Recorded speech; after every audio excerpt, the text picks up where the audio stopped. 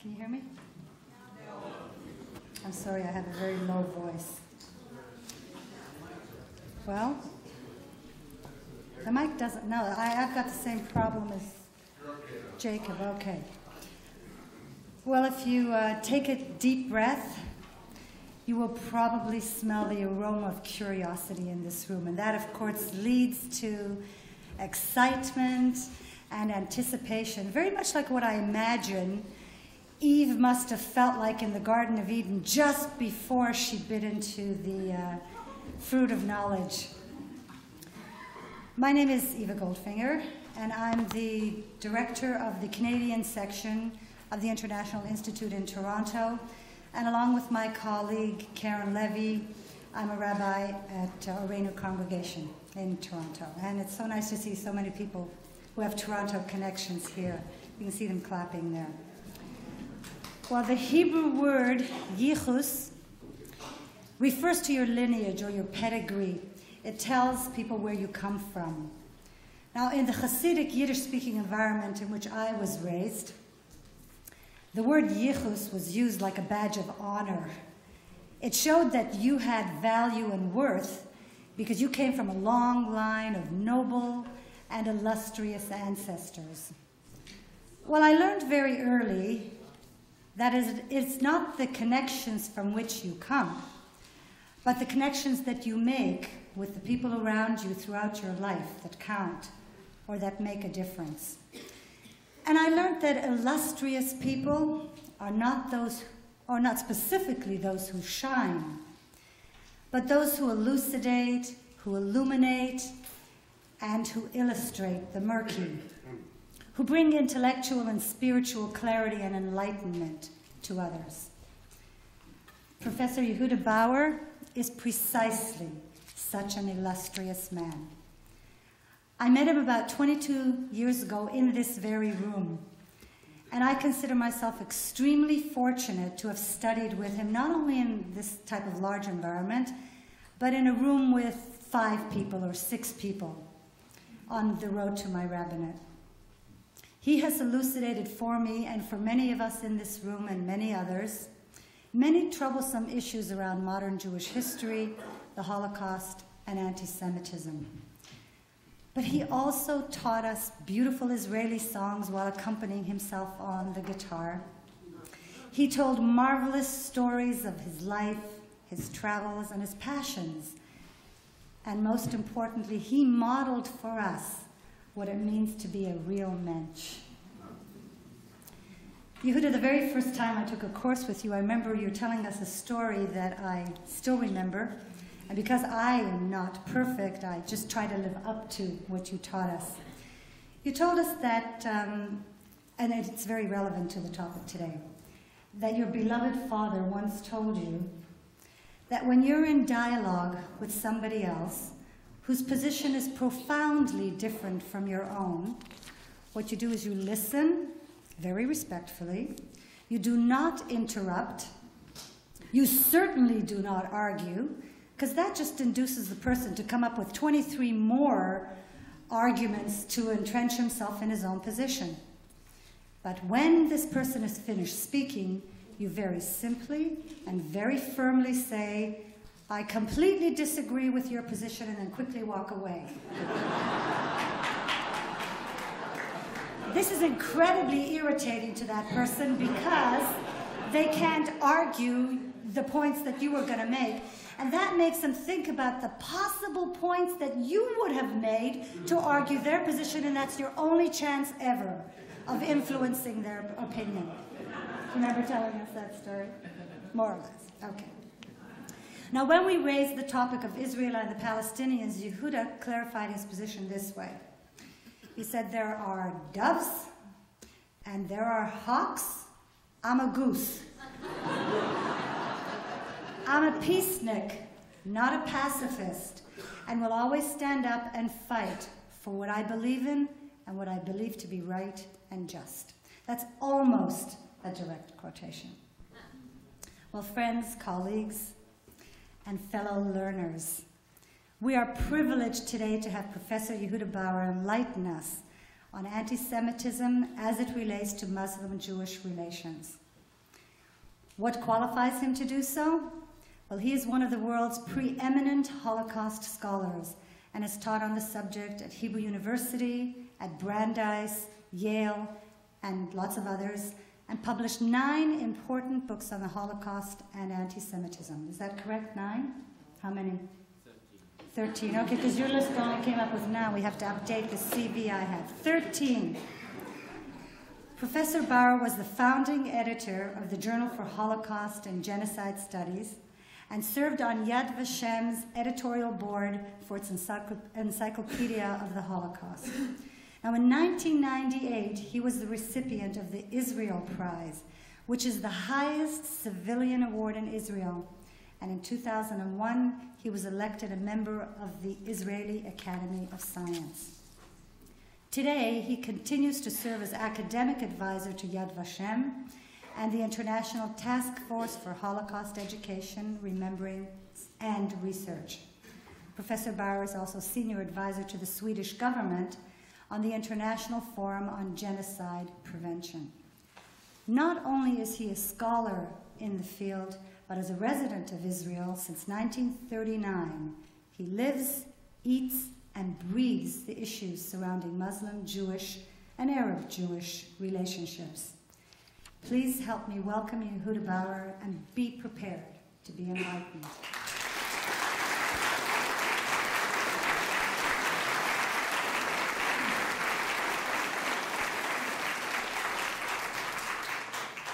Thank you very much, Eva.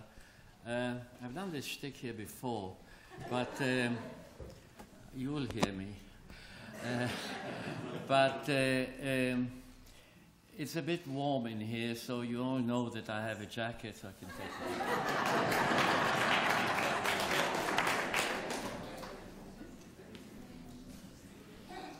it. uh, when Sherwin asked me uh, almost a year ago uh, to participate in this colloquium on this topic, I said, I'm not an expert on Islam, but I'm not an expert on the Muslim world.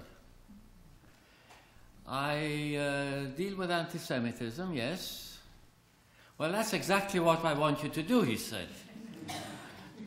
All right, uh, I, provided my superior authority agrees. He sort of trembled for a moment. What do you mean by your superior? I meant, I meant my wife. uh, and uh, once that agreement was, uh, was agreed upon, uh, I said, Look, but I'm not going to prepare a paper. And he said, But you are going to prepare a paper because that's what we need. And I said, All right then, I'll prepare a paper, but I won't read it. I'll speak freely. So I wrote a paper and I sent it to him, a first version, and uh, he said, Okay. I said, I will play around with it. And then the tragedy in Morocco happened, and I sent the corrected paper to Adam.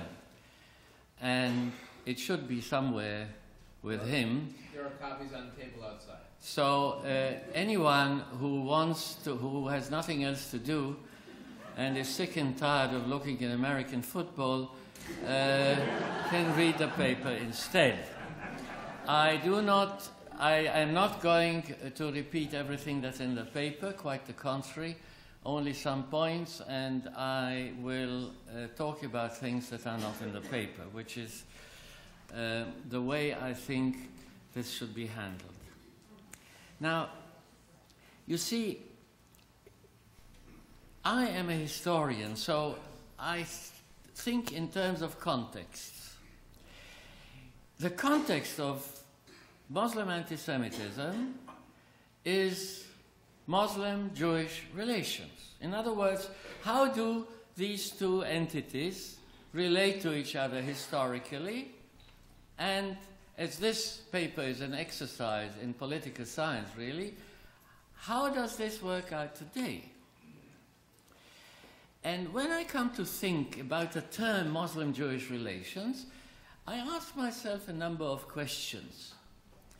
You know, there are 1.3 billion Muslims in the world, and there are 13 million Jews, roughly, and their number is declining.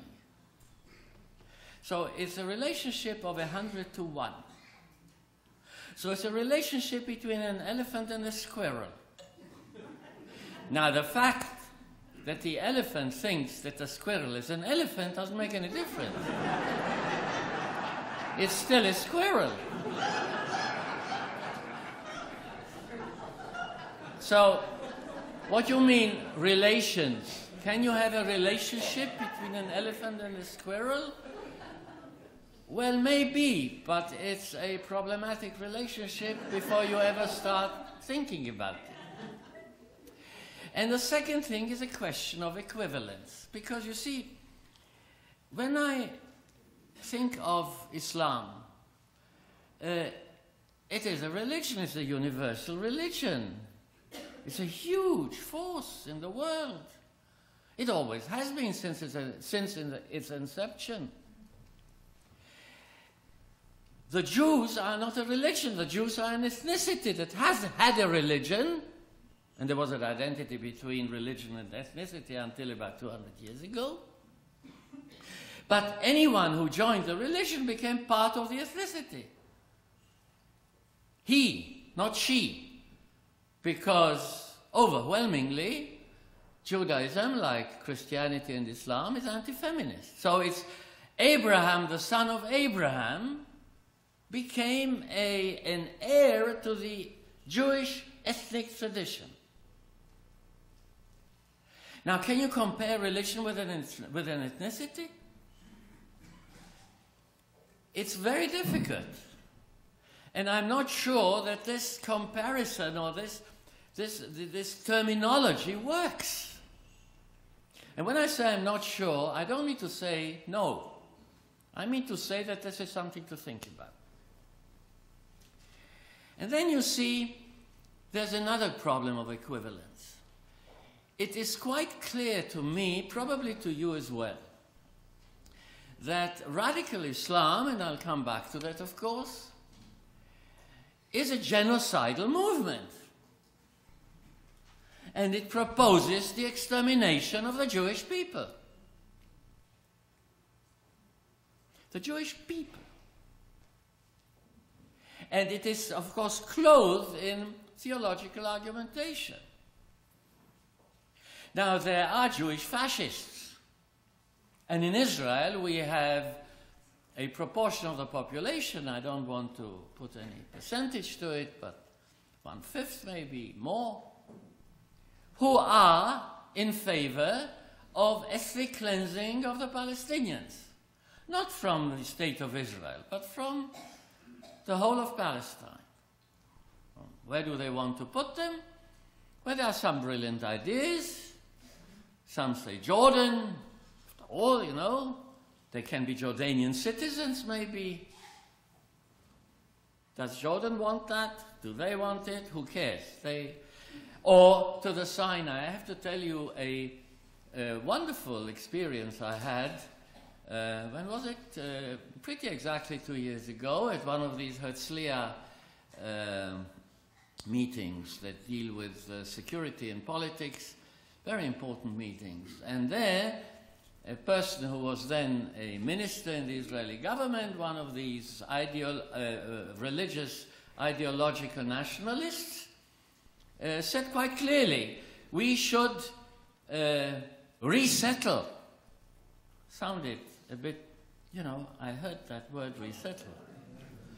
Uh, the Palestinians in the Sinai and he forgot that the Egyptian chargé d'affaires was sitting in front of him. and when he was done, the Egyptian stood up and said, Please remember that Sinai is Egyptian territory. Now, he didn't put it the way I'm going to put it now, but that's what he meant. He said, Mind your own bloody business. So there are people like that, and plenty of them. But even the most radical Israeli fascist will not uh, accuse or will not make propaganda against Islam. It's a nationalist thing. Palestinians, and these people are very egalitarian, they want to expel both Muslims and Christians. Doesn't make any difference to them. They are Palestinians. So it's one sided, you see. The Jews who can rightfully be accused of being, from my point of view, purely personal point of view, on the wrong side of the fence, will not attack Islam. But the Muslims, the radical ones, will attack the Jews. The equivalence there doesn't work. And to have a dialogue, you have to have a common basis. Now, in this particular situation, that common basis has to be created. It is not naturally there, I think. Now, again, context. When I talk about Muslim anti Semitism today, and this is what I, I want to deal with, before I ask where it comes from, I have to say what the context is in which it appears. And I think the context has to be radical Islam as such, the ideology. Now, for that, with all due respect, you don't have to know Arabic. I have some Arabic, it doesn't count. Because everything is translated. After all, we deal in the 20, end of the 20th, beginning of the 21st century. So, the material is there. It is very simple, really, to find out what the radical Muslims want.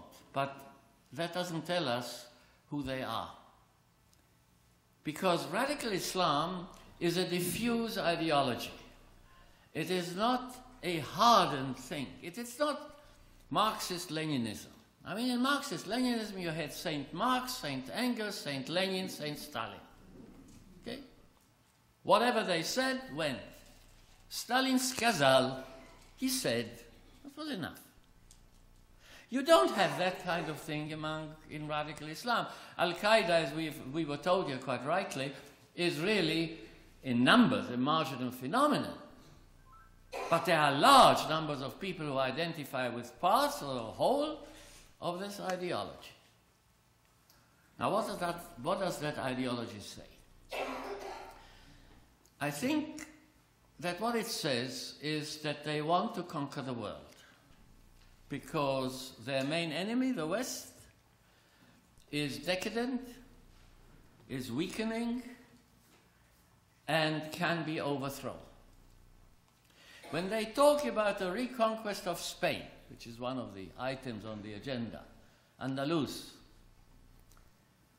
in their language, they're really talking about reversing the victory of the French king, Franconian king, Karl the Hammer, Charles the Hammer, in 728 at Tours and Poitiers against the invading army of Muslims from Spain, thus uh, preventing them from conquering Christian Europe.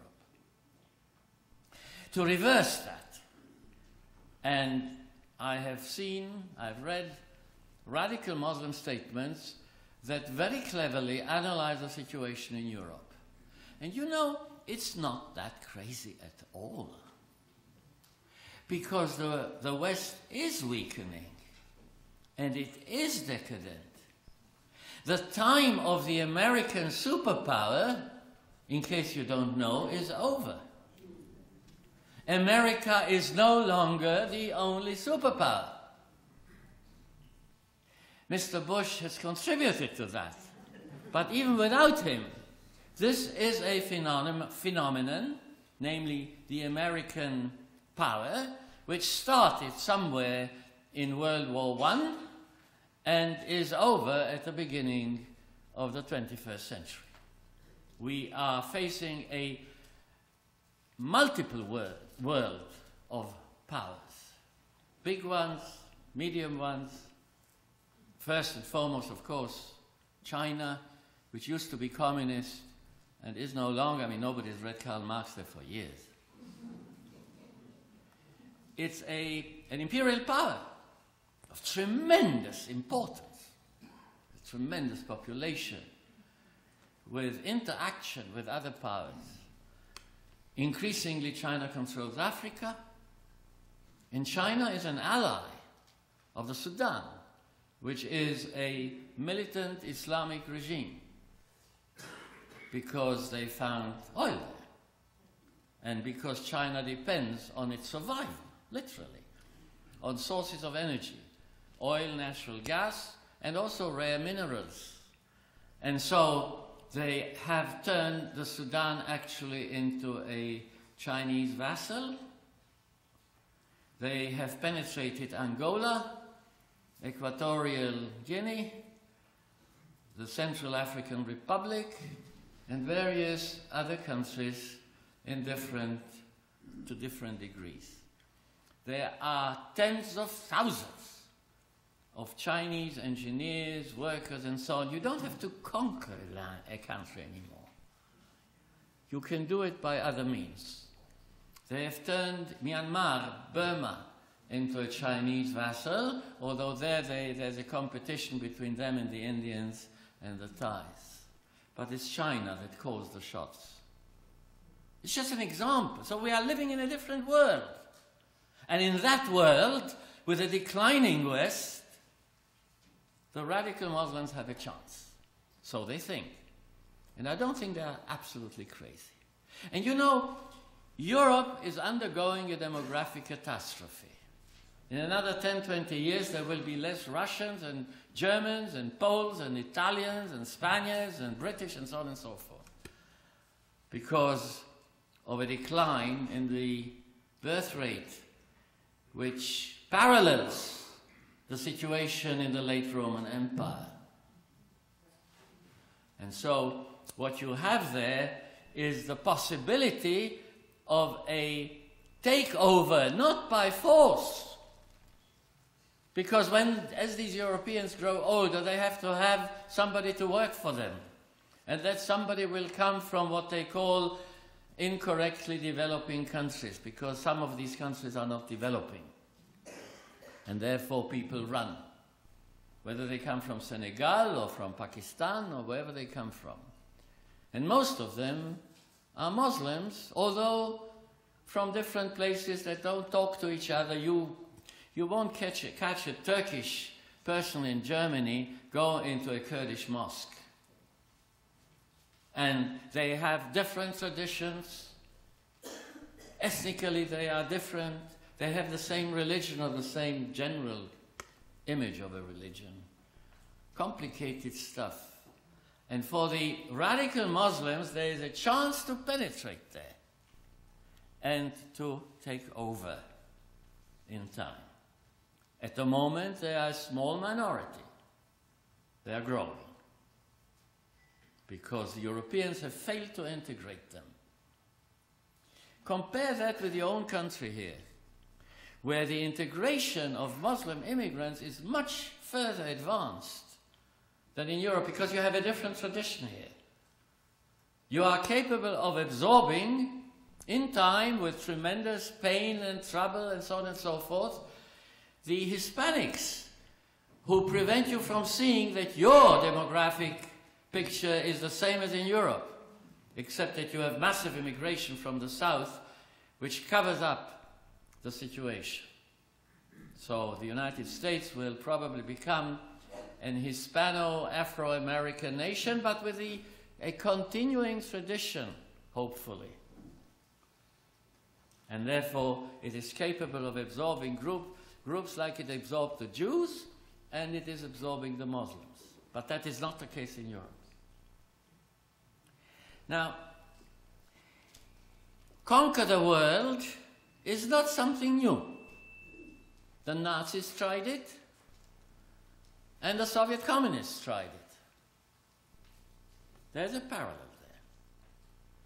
And I'm reminded of the, of the connection because Hajj Amin al Husseini, the Mufti of Jerusalem, who was a Nazi, who came to Berlin because he wanted to identify with a project, with a program of the National Socialist Party in Germany, and he said so. And he recruited a Muslim division in the Balkans to fight alongside the German army, a Muslim SS division no less. He met with Adolf Hitler on the 28th of November 1941, and it so happens that at this particular meeting there was a stenographer. Not always happened with Hitler. And so we know exactly what was said. And at one point in the discussion, because of course they couldn't converse in the same language, so there was a translator, and he wrote down. Hitler said, When we win the war, this is November 41, when we win the war, we will turn to all the countries in the world to treat the Jews like we are treating them here. And the Mufti of Jerusalem was very, very grateful. Now, was the Mufti of Jerusalem a radical Muslim? I don't know. And I'll come back to that in a moment. Because he may have been typical of a certain type of transitional position between radical Islam and what is inaccurately and very difficult to describe mainstream Islam. The second thing that the uh, radical Muslims argue for is uh, the abandonment of any way to popular participation in uh, rule, in, in government. And the reason that is adduced is very simple. God, through the Quran, through the Hadith, through the Sharia, through the interpretations and all the rest of it, has already given us laws. If you elect somebody to make laws, that's not only heresy, that's blasphemy. So democracy isn't bad because of this, that, and the other, but because it is blasphemy. So it's a question of principle, not a question of adjustment. There's a difference there between the Sunni type of radical Islam and the Shia type of radical Islam. But the Sunni type is very clear on that. The third point is really an anti nationalist stance. Because what these people want is not ethnic national states. They turn against them. And they want, instead of that, Islamic states that will be part of a kind of, it's not worked out, it's not clear, kind of a, a, a an overall Islamic uh, government. And of course, the people who will uh, rule will be the clerics, with uh, advisory groups called the Shura. Now, this kind of a, uh, an attitude to nationalism you find in a different form with Nazism and communism as well. Because the National Socialists really, wherever they ruled, were subjecting the local governments or the local states to a, uh, let us say, uh, uh, stage of being uh, submissive or um, looking up to Berlin for guidance. No independence, no national independence. And of course, the Union of Soviet Socialist Republics, uh, we know very well what the attitude was towards Ukrainians or uh, Turkmens or Uzbeks or whoever it was. And then, of course, the attitude in the people's democracies to the various countries of Eastern Europe. So you have a clearly anti national, anti nationalist, if you like, position. Now, who is the enemy? The enemy in their eyes is first and foremost Muslims who don't agree with them.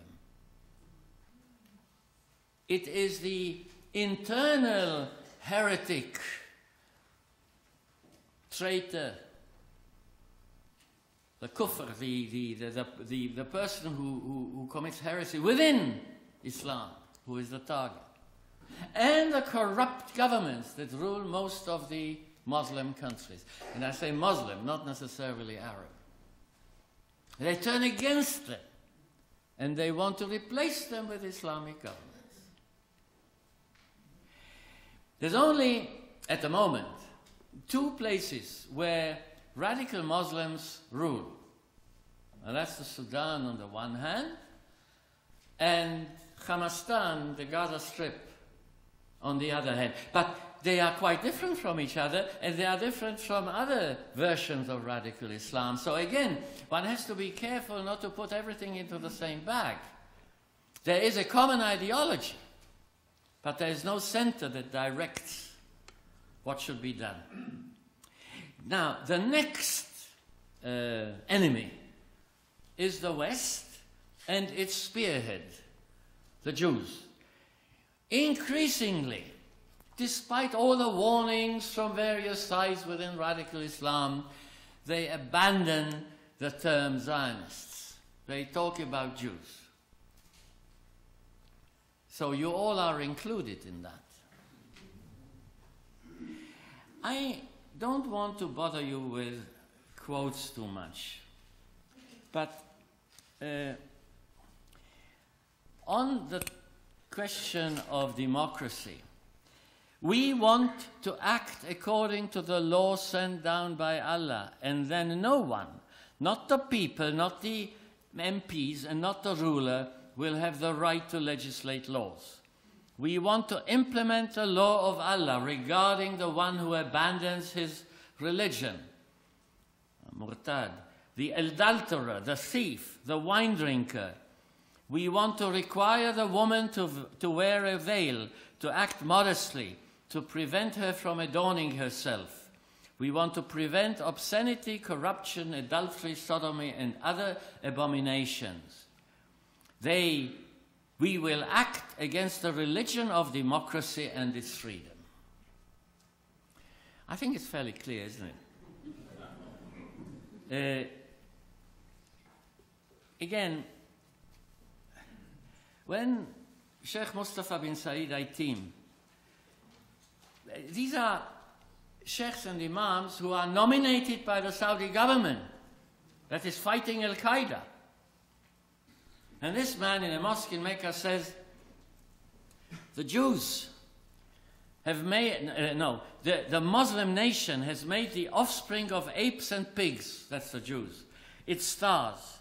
The hangers on of the apes and pigs have become the centers of influence and power in the Muslim world. The Jews, Christians, and the hypocrites gnaw away at the body of the nation and carry out raids on it with the knives of the destructive media and with a deadly weapon of globalization.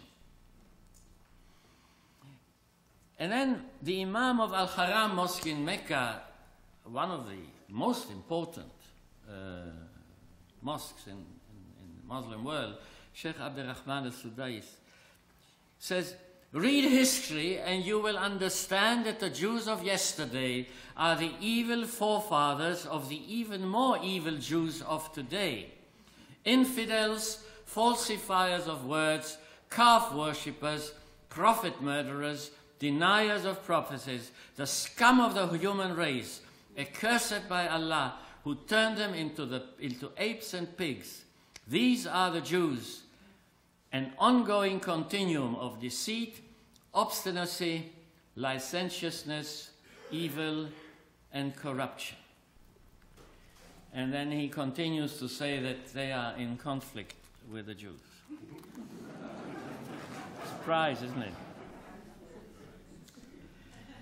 Uh, I think I should stop. You've got, you, you got the idea. I've got here a whole list of things. No, no, yeah, I think uh, you got the idea. And uh, uh, there's plenty of translations into English of all that stuff. You can find it on the internet, no problem. See, when I think of that, this is now over 60 years after the Holocaust.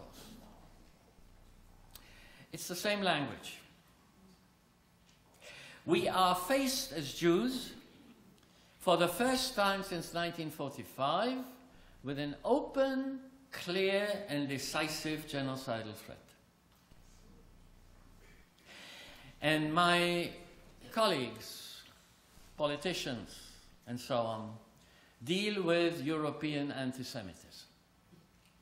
It's like, you know, dealing with a, I come from Israel after all, with a scorpion in front of you, and there's a huge fellow with a big stick behind you ready to pounce on you. And you deal with a scorpion. The scorpion is very unpleasant, very dangerous. The fellow behind you is much more so.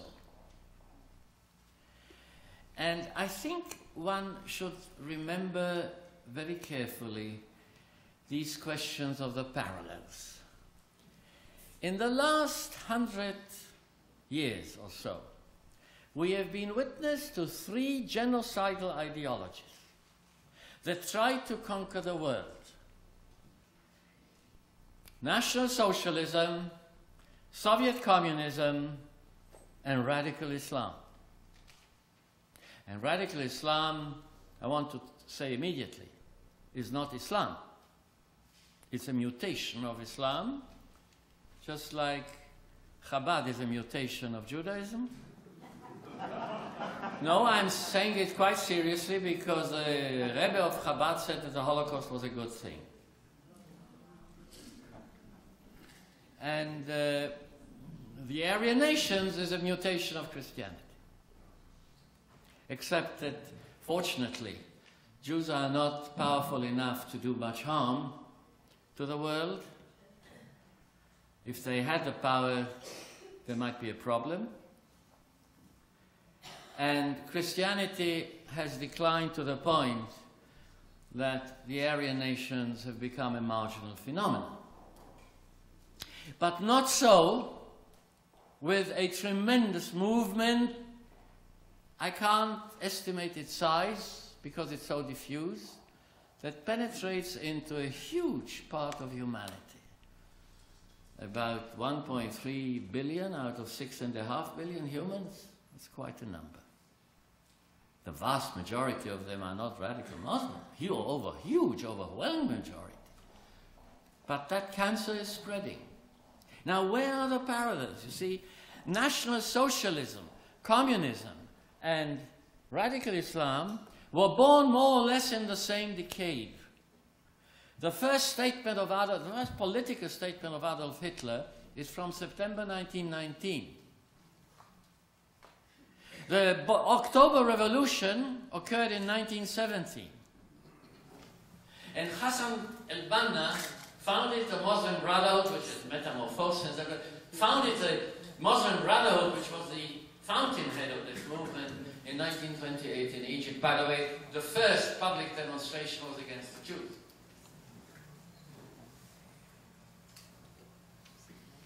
It comes from the same background, these three movements. From a deep crisis in Christian modern society. This crisis of modernization of a technological revolution that was much too quick, much too fast to be absorbed, of a quick changeover of political systems, of a tremendous advance in military technology, and a uh, lack of direction because of all this confusion where exactly to take it. And the response with many was desperation, frustration, that sought an outlet to replace something that was not good with a utopia. Radical Islam proposes a utopia, just like Nazism did, just like Soviet communism did. And I repeat something I said here many years ago with an uh, apology to Lord Acton. All utopias kill. All radical utopias kill radically. All universal utopias kill universally. And that really is what combines these three things with all the differences between them, of course. The parallel between these, through, these three uh, genocidal ideologies are based on religion. I already mentioned St. Marx and St. Engels. The, the uh, Manchester manufacturer exploiting his workers in a sweatshop factory in Manchester in order to pay for writing of Das Kapital by his friend Karl Marx. And of course, Hitler's Mein Kampf, which people didn't read but quoted from. It's written in a German which is impossible to read anyway. And so all you need is quotes. And anyone who opposed it was a heretic, Ex- to be excluded or to be dealt with much worse than exclusion. These three movements are based on religion. Two of them without a God, one of them with a God. Systems of belief. And there you have the problem, the major problem. Now, uh, I said radical Islam was not Islam. So, what is Islam? Well, we've heard what Islam is. It's a complicated religious movement with a history and a uh, theology, a developing theology. You can interpret it in different ways. When uh, my good friend and uh, Orthodox uh, theologian Blu Greenberg, many of you know her name, was asked by one of her Christian colleagues, What shall we do about the Gospel of John with its anti Jewish statements? She answered, she answered, Did what we did with impossible passages in our sacred books sometimes. We reinterpreted them to mean the opposite of what they said. Reinterpretation is the name of the game. And so when you have people in Muslim past, but also in the present, trying to reform Islam, that means not reform it. You don't change sacred texts if you believe in, in religion. You reinterpret them. Now, it may be the case that we have actually the two extremes radical Islam in its different forms and reform Islam, which is a much smaller minority amongst Muslims.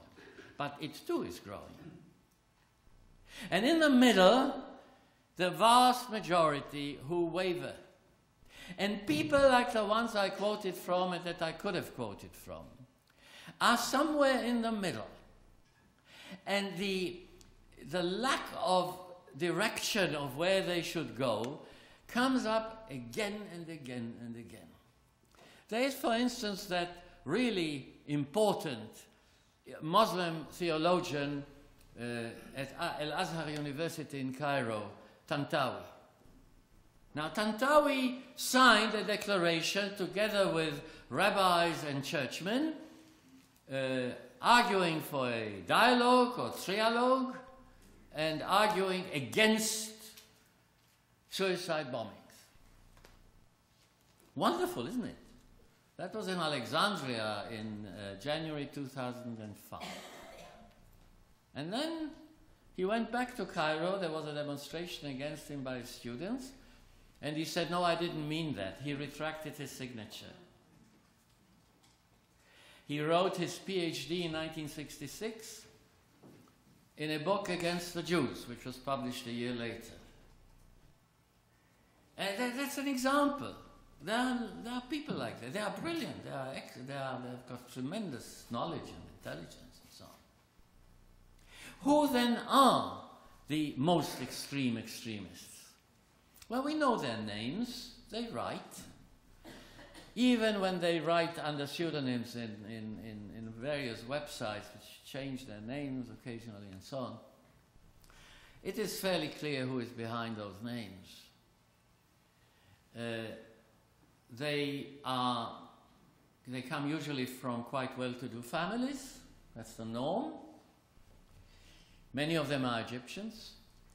The person who developed radical Muslim ideology, including its anti Semitism more than anyone else at the beginning, was an Egyptian official by the name of Said Qutb, who uh, spent some time in the United States, and came back convinced that the West was dying.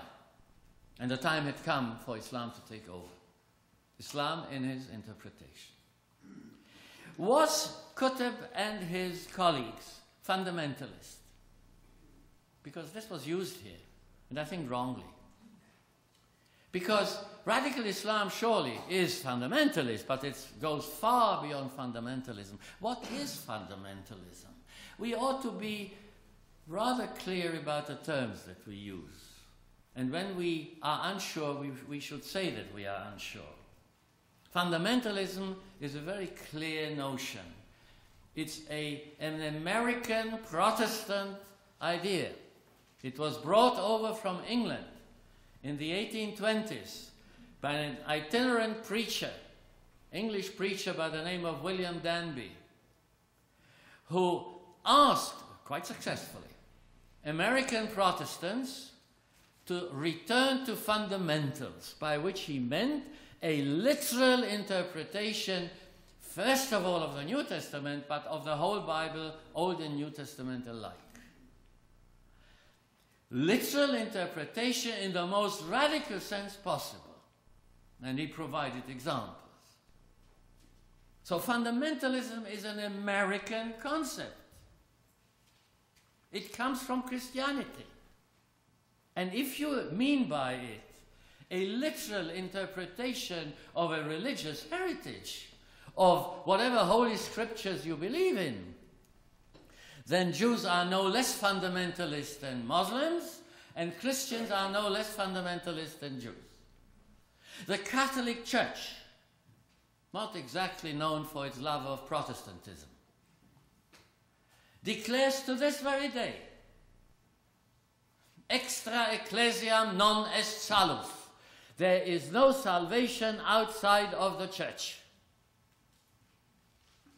And in Protestant Christianity, if you don't believe in your personal Savior Jesus Christ, you will roast in hell. Because you see, all these monotheisms are ultimately not monotheistic at all.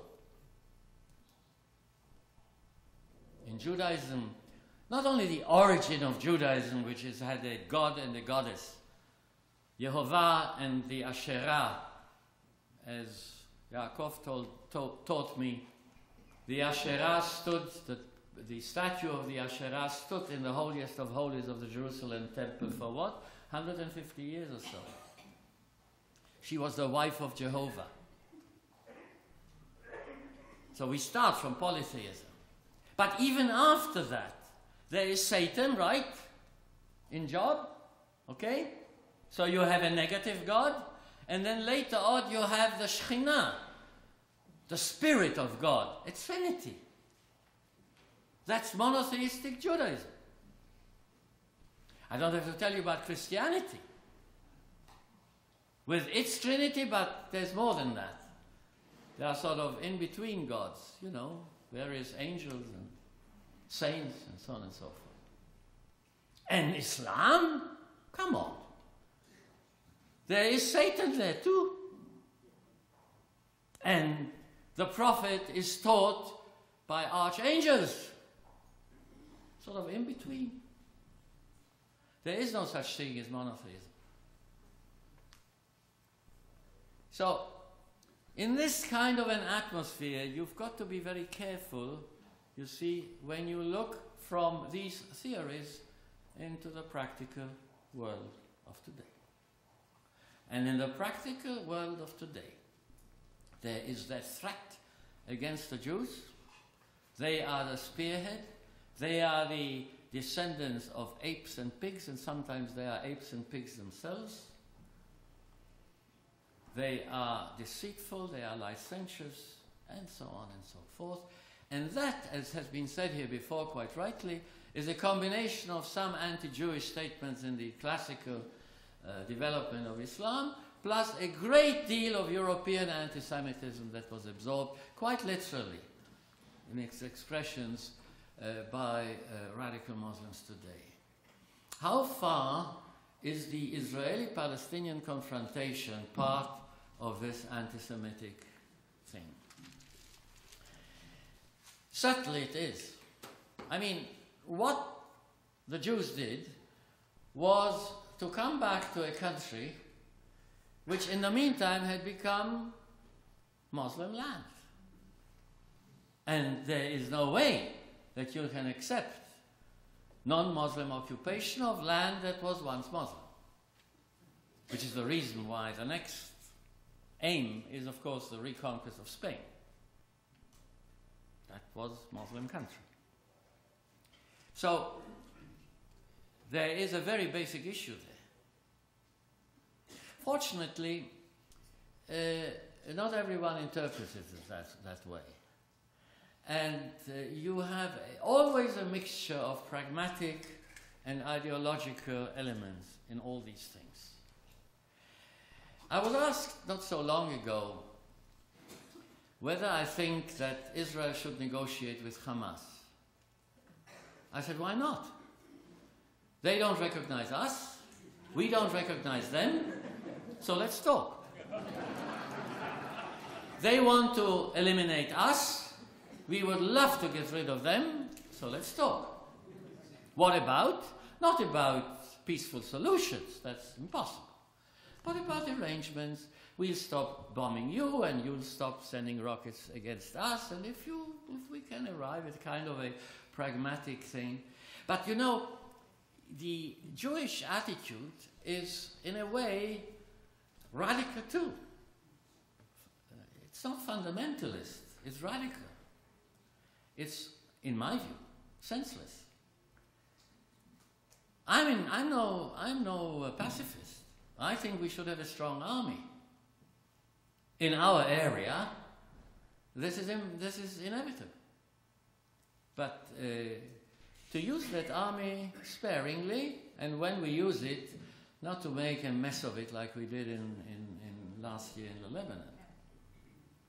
And so, you see, I think that what we should be willing to do is to talk to anyone. Talk? Why not? Will anything come out of it? Who knows? Maybe yes, maybe no. It's better than shooting. But if it's necessary, then shoot. So, when you face this kind of an anti Semitism, you've got to be flexible. You've got to realize that you are under a genocidal danger. And that brings me to my last point, and that is Iran. Because Shiite radicalism is different from Sunni radicalism in some aspects. I won't deal with that.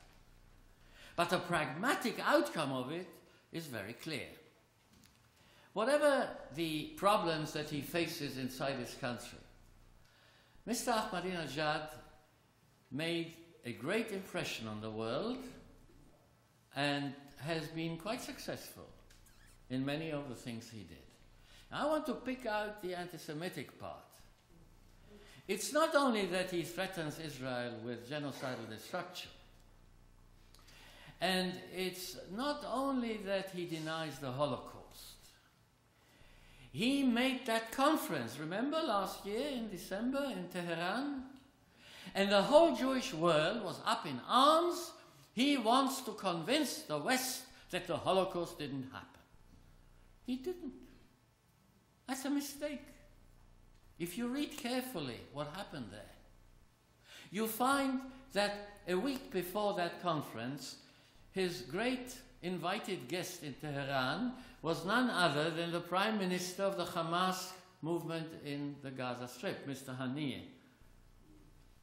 Now, what does a Sunni radical do in, a, in the capital of uh, Shiite Islam? The Iranians want to have some kind of a contact with the Sunnis because ultimately the civil war that's going on in Iraq, it's no use to them. They want an arrangement that will leave them in power, of course, in overwhelming power, but these mutual killings are no good to them either. And so they are looking for allies.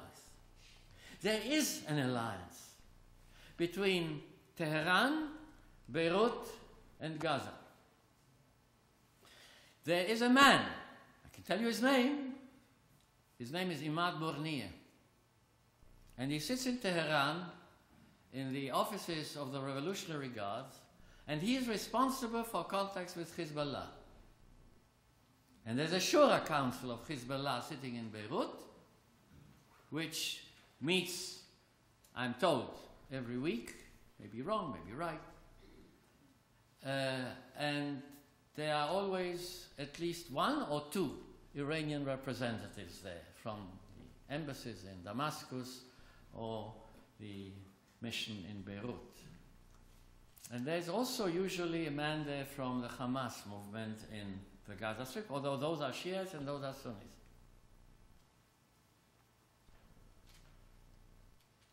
Osama Hamdan is his name. Where do I get this from? Today, everybody can find out. it's not very difficult. And you see, the intention of the meeting in Tehran was not towards the West. I mean, who cares about the West? It was in order to recruit Muslims on an issue that can be consensual, namely that the Jews lied, because they always do. The Holocaust never happened, that's quite clear. And all the Jews want is to penetrate into the Muslim world and destroy it from within. And so you have to convince the Muslims. Why? Again, second point, because Iran wants to control the Persian Gulf. And the Persian Gulf is populated, as we heard here, to a not in unimportant part by Shiites. And so you either overthrow these governments that are weak anyway, or else pull them on your, to your side and then you can close the Persian Gulf to Western vessels if you want to, and you hold the West by the throat.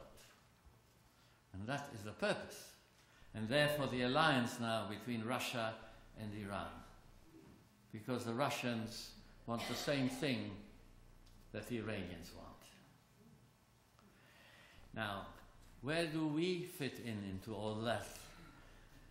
We are a very small people. Now, the uh, uh, answer to the question I was asked by somebody before we came in are you going to give us some hope? and I said, not today, maybe tomorrow. Because the organizers of the colloquium told me to concentrate on anti Semitism in the context that I described, and then gave me more time tomorrow to say what in my absolutely crazy illusions I think might be the answers. So I'm sending you home with a, a very, uh, uh, shall I say, uh, radical message. Don't sleep because you won't be able to sleep after that. We are in a hole. We, the Jews, and together with us, many others. We are faced with a serious danger. We have to think very carefully how to get out of it, or how to limit it at least. And I can tell you a kind of a preview of tomorrow. The basic answer is we can't do that alone. The Jews are too weak to be able to defend themselves alone. Without the Jews, there will be no defense. But with the Jews only, there will be no defense either. And uh, I think that when you uh, think about it, and there are more contexts that I didn't touch here, then this is part of a globalized world. A world that where you cannot deal with an issue in one place that doesn't affect another one. And we have to get rid of provincialism. Americans are typically provincial. You have to think globally. It's not just the economy that's globalized, it's the thinking that's globalized, it's the politics that's globalized, it's the dangers that are globalized. And my very last point is even more pessimistic than that. You see, the, the human race began, nobody knows exactly, probably 200 to 500,000 years ago in East Africa. And that, this we know because there are DNA probes that show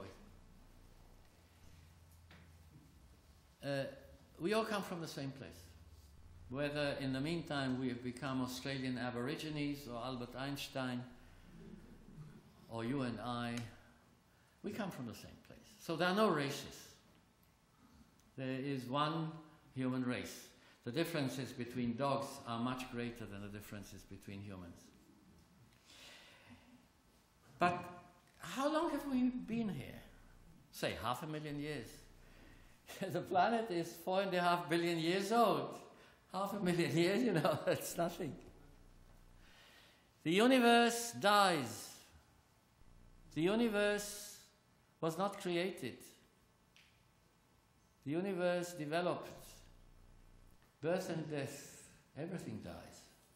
Stars, the globe, this planet, humanity. Sooner or later, we will disappear. We are here because we would like to exist a little bit longer rather than be gone sooner. But we're going to go, and with us will go all our problems and achievements and failures and gods and all that sort of stuff. But it's important to carry on because we can create something that will be, as Sherwin Wine put it so well, remembered by our descendants. This is what our basic biological drive is that we should have a continuation. There is no immortality, there is no paradise, there is no hell, but there are children and grandchildren.